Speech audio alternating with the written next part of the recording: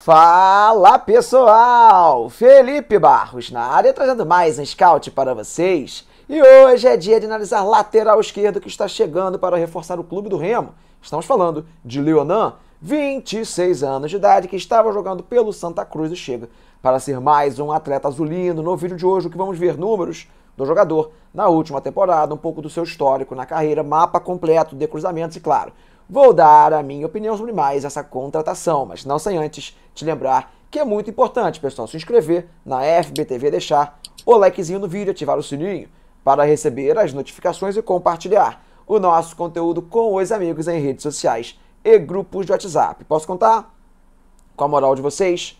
Show de bola! Então, antes de começarmos, preciso falar com você sobre a Bet Nacional casa de apostas da FBTV. Galera, na Bet Nacional, além de você encontrar as melhores cotações do mercado, saques e depósitos são instantâneos.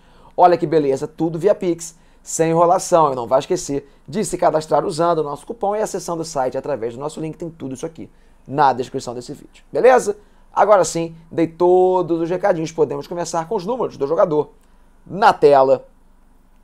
Vamos lá, pessoal, números de Leonan na temporada 2021. Lembrando que o jogador tem 26 anos de idade, 1,74m, jogou toda a temporada passada pelo Santa Cruz. Vamos lá. 12 jogos para o Leonan em 2021, 11 deles como titular, nenhum gol marcado, nenhuma assistência, 9 passes para finalização, 46 cruzamentos com 24% de acerto. Daqui a pouco a gente fala um pouco melhor sobre isso, se for um número bom ou ruim retomou a posse de bola em média 8,2 vezes a cada 90 minutos, é um número bem positivo para um lateral. Ganhou 61% dos duelos, das disputas de bola por cima, mais uma vez um número positivo. Cometeu 22 faltas, tomou dois cartõezinhos amarelos e não foi expulso nenhuma vez o Leonan na temporada passada.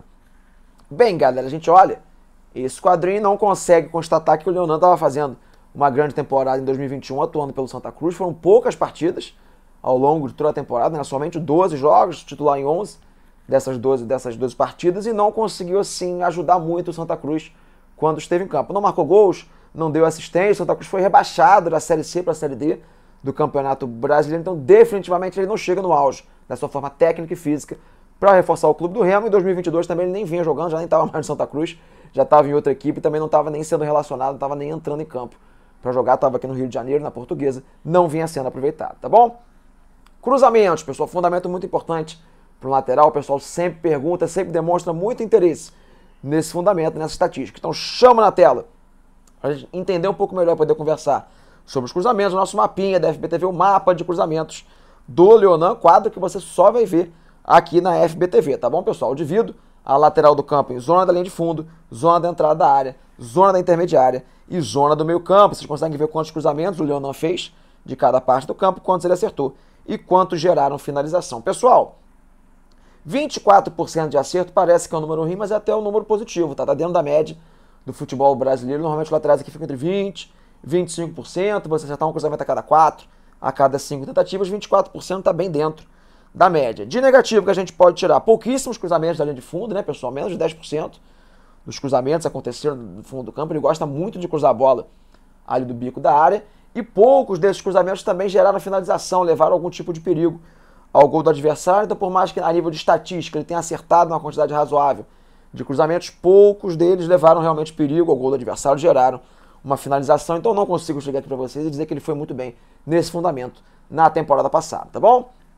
Temporada de 2021, agora sim vimos tudo sobre o jogador, constatamos que ele não entrou muito em campo. Mas e num passado recente, nas últimas temporadas, por quais clubes jogou, conseguiu ser titular, participou um pouco mais de gols, deu assistência, como é que vem sendo a sua carreira? Chama na tela para a gente ver um pequeno histórico na carreira, pessoal. As últimas quatro temporadas de Leonan como atleta profissional. Vamos lá.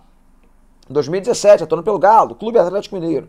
Oito jogos, oito como titular, um gol marcado, nenhuma assistência. Em 2018, ele se transfere para Fortaleza, joga a Série B do Campeonato Brasileiro e participa da campanha do acesso, com 24 jogos, 9 como titular, 4 gols marcados, 3 assistências. Em 2019, atuou pelo Botafogo de Ribeirão Preto, 11 jogos, 7 como titular, nenhum gol marcado, duas assistências. Vem a temporada 2020, ele inicia o ano pelo Havaí e depois se transfere para o Santa Cruz. 21 jogos, 14 como titular, um gol marcado, cinco assistências. A gente percebe que em 2020 ele até conseguiu ter uma participação razoável para gols, né, para um lateral.